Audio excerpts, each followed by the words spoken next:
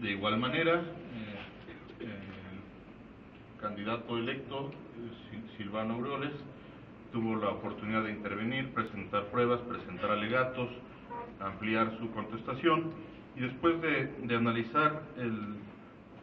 eh, a profundidad el expediente y los planteamientos dados,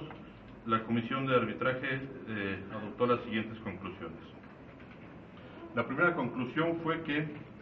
en la elección interna del candidato gobernador del Partido de la Revolución Democrática en el Estado de Michoacán existieron dos clases de irregularidades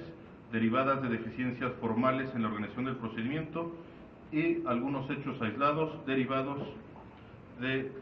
eh, contrariedad a la normatividad interna del partido.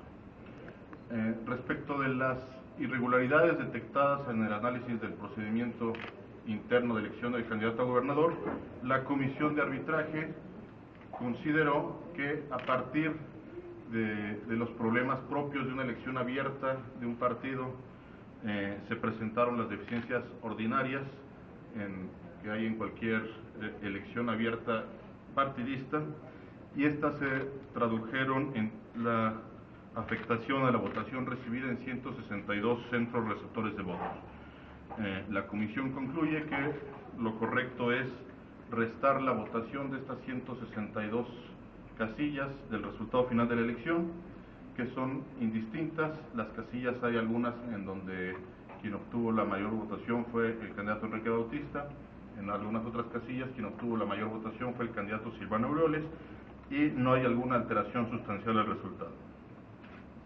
En cuanto al segundo tipo de irregularidades, la comisión encontró que existen algunas irregularidades,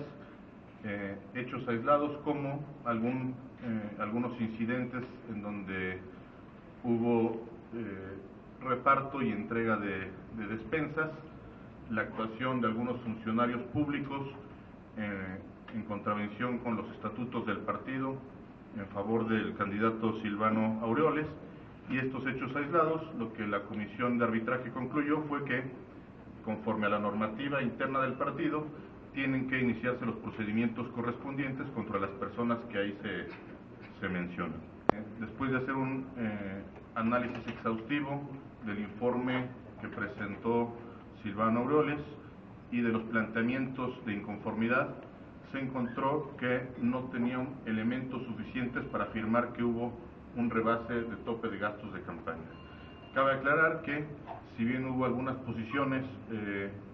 en prensa sobre este punto, reportado lo que se dijo y no, no, se, no se hallaron pruebas que demostrara algún rebase.